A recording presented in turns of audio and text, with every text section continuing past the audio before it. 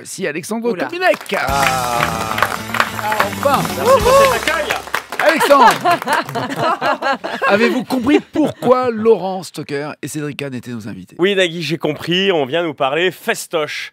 Mais attention, on parle pas de festival euh, électro type euh, Tomorrowland. Non, on est là pour parler festival de cinéma. Hein, festoche, Cinoche, Psartek, Juliette Binoche. ça n'a aucun sens, mais ça me faisait rire.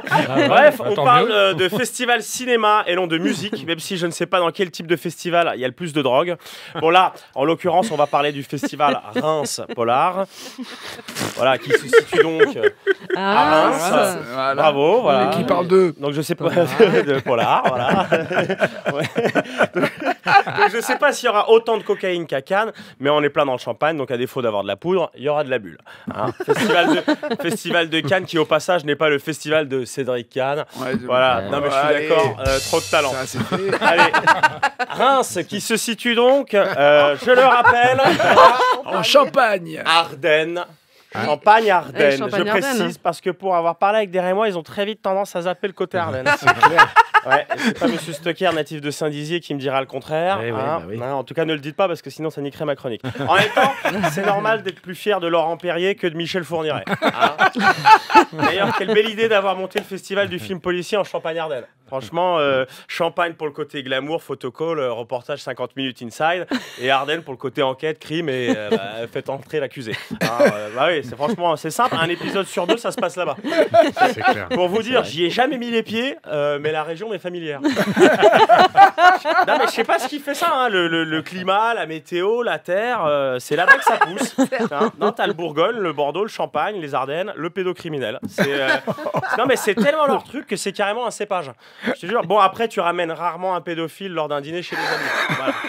Hein, ce qui est dommage, hein, parce qu'on peut juger un vin comme un enfant. 2016, très belle année. C'est ignoble. C'est ignoble. Daniel, regarde-moi quand je fais ma chronique, s'il te plaît. ah non, mais les Ardennes, c'est vraiment leur truc. D'ailleurs, vous avez déposé la marque Champagne.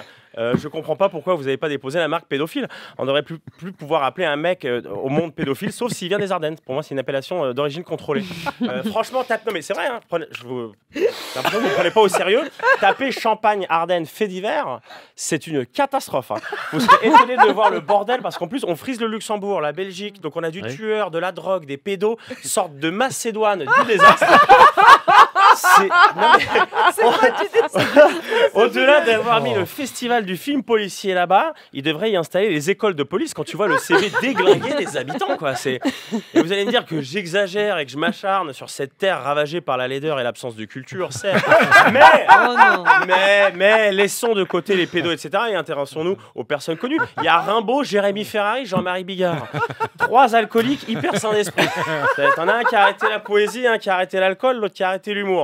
Voilà, heureusement qu'il reste Monsieur Stoker de la comédie française et de Saint-Dizier. Allez, bonne émission tout le monde. Merci L'Office du tourisme Champagne-Ardenne te remercie.